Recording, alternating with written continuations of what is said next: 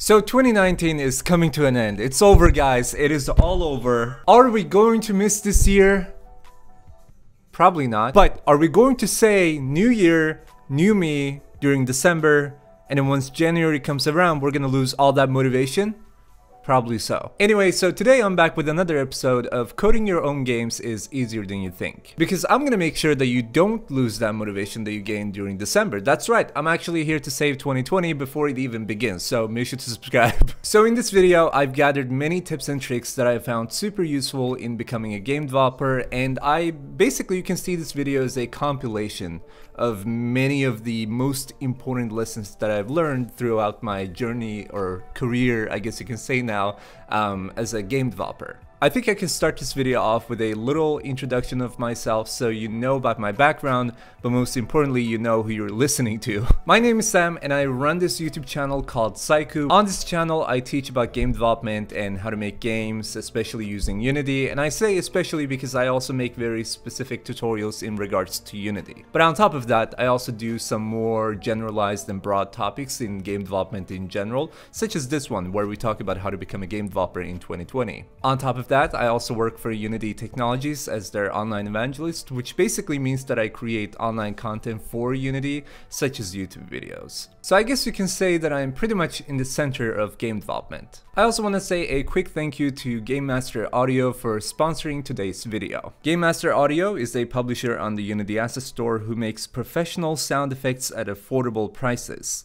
These effects are specially designed for games by award-winning sound designers. No matter if you're a programmer, writer, or designer, I think it's really important for you to allocate your time onto putting it where you're actually specialized when you make games. And this is where the Pro Sound Collection Pack comes in. This is a pack of total 8,076 game-ready sound effects. That is 3 hours and 9 minutes of high-quality audio effects ready for your games, which is insane. The reason I'm happy about this sponsorship on top of it being sponsored is the fact that I've actually used some of the other asset packs from Game Master Audio and I know the product quality and I can actually stand behind it on top of it being sponsored and be like, yep, this is something that I've used and vouch for it. So please make sure to check out Game Master Audio and the Pro Sound Quality Asset Pack through the links in the description. Don't forget that when you check out a sponsor, it helps them, but it also helps us on this channel to get more sponsors for our videos, which means better quality in content. So basically, when you check out a sponsor, it helps them and this channel and it supports us. So thank you, Game Master Audio, for sponsoring this video, and thank you for checking out Game Master Audio and the Pro Sound Sound Collection Pack. Now a quick disclaimer, this video is going to be a commentary video as you can probably already tell. So sit back, relax, chill out, grab some popcorn, get some soda and maybe some smørrebrød and let's just jump into it. Now first topic of today is something that you guys are gonna be very hyped about and I'm going to ruin that hype, working from home. Oh my god. Alright, alright, you can stop. Stop! God damn it. I'm actually not here to promote working from home. I know. Boo me all you want. I'm not here to promote it. I think working from home is really one of those things where you think it's gonna be the most awesome thing in the world, just the thing, but then it actually starts losing its shine once you start doing it. The reason you like it to begin with is because usually after school you're used to having a strict schedule and then if you do it after having a full-time job, you're also normally used to have a strict schedule there, like work hours, 9 to 5, whatnot. And then you start working from home and then you can decide your own design for the office and pick your work hours, set a schedule for yourself, let people know when you're gonna work or don't let them know, it's up to you. And it just feels awesome because you're the boss there. I worked from home for four months in a row right after graduating from high school, which absolutely rocked. Then after those four months, I decided to get a full-time job because, you know, YouTube, I was doing YouTube during those four months and it wasn't really generating any money. So I needed to, after high school, you know, you want to earn some money, help support the family, whatnot. So I got a job as a phone salesman and then I realized how much of a time it took for me to get used to that strict schedule format once again. And I quit from that job, not because I wasn't, you know, getting used to it or whatever, it was not a problem. The problem that I had was I just didn't like working as a phone salesman. So I went back for six months this time, working remote from home on my own project, including YouTube. And oh my god, did it suck. I know, change in vibe, but hear me out on this. I realized that I missed having a strict schedule where I can feel like I'm a part of a routine again. What I mean is working from home meant basically waking up from my bed, getting up and then coming to my desk and just working for like an hour or two and then being like, all right, I did some work, let's watch YouTube, and then getting distracted for like three hours of watching YouTube, then work one more hour, get really tired or feel a burnout or whatever the reason might be, maybe not even being able to socialize with people and talk to people face to face. I mean, calling people is not always enough, you know what I mean? Like, you do want to see some people face to face, and that's not the people you live with. That's what's important. And basically, after having done like two or three hours worth of work, I would realize that the time is now 8 p.m. and I have to go out because my friends are calling or you know, many more distractions to come along. Basically, there was no organization whatsoever. What I tell people when they ask me how it is to work from home and if they should do it or not do it, I always tell them, first and foremost, you should try it because then you'll be able to better relate to what I'm saying right now. But if you want to be able to socialize, eat healthy, live healthy, and actually see new people and meet them and talk to creative people like yourself, you should be working from outside. I'm not going to necessarily say an office because maybe you don't want to rent an office or maybe you don't work for a company, you just work on your own game. You can work from home or remote at least, but try working from outside. Even a library or a cafe works. Basically, I think the lesson here is don't turn your home into your office and do not sleep and wake up in your own office. It's just not healthy. For a long term, it's not healthy. Like for instance, now that I work for Unity, I have some days where I feel a little bit sick, but I don't want to take a sick day off.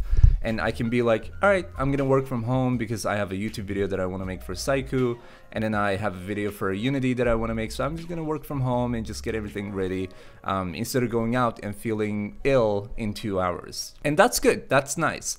But sitting at home for four months and working from there when there's, you know, a bunch of other people outside you could meet, what's the purpose? Moving on to topic number two, I just want to say this first and foremost, game development is huge. I mean, massive huge, like massive, massive huge. Literally, there are branches, sub branches, sub sub branches, and sub branches to those sub branches. So it's massive. Like if you tell people you're a designer, it's kind of a vague description of what you do as a as for like in games because they're gonna be like, do you design environments? Do you design levels? Do you design games, characters, 3D art, 2D art? Like, what are you designing? It's very important to understand what you like, but also what you don't like. For instance, I started programming when I was 12 years old, which also fired up my game development journey. I loved programming, and I still do love programming. I still do it every now and then, you know, whenever pro projects require it, or my video is like about a tutorial on coding, C Sharp, whatever.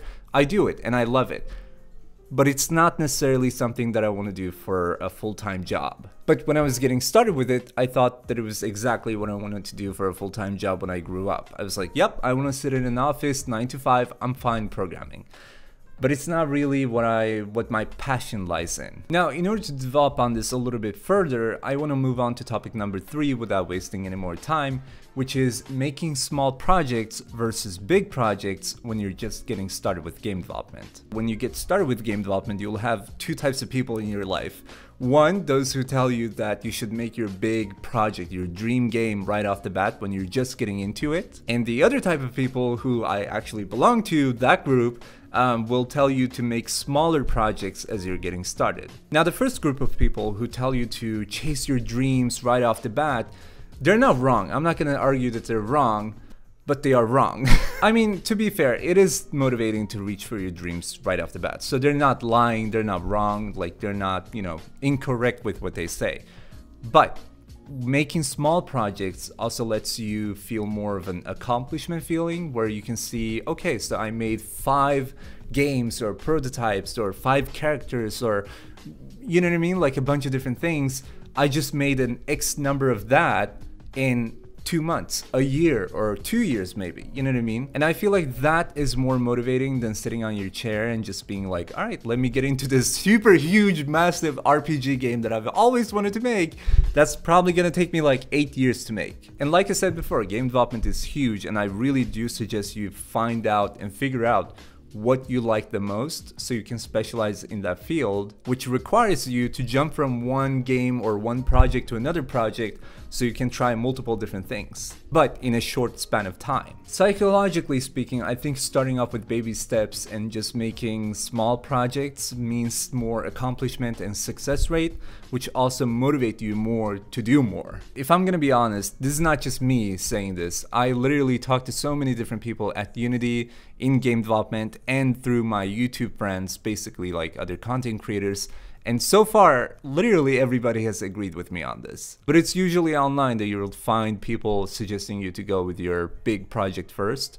But personally, I just disagree with that. Moving on to another topic, sometimes you may, and actually I can go as far as saying you will, feel loss of motivation and burnout through game development, especially on your own projects. It is very common for some some game developers to think you know, four months into a project being like, oh man, my project isn't looking as good as I wanted it to. I have this other idea that I really want to develop and I just want to jump onto this and my friend is making this, should I help him, whatnot. In those times, what's important to keep in your mind is the fact that you live with this project. And I mean, if you work let's say five hours a day on this project, that makes about 25 hours a week just the weekdays. So you're spending many hours upon many hours on this project alone, seeing it every day. And after some time, it, it, gets a little boring. If you have a super cool wallpaper on your iPad, iPhone, or phone,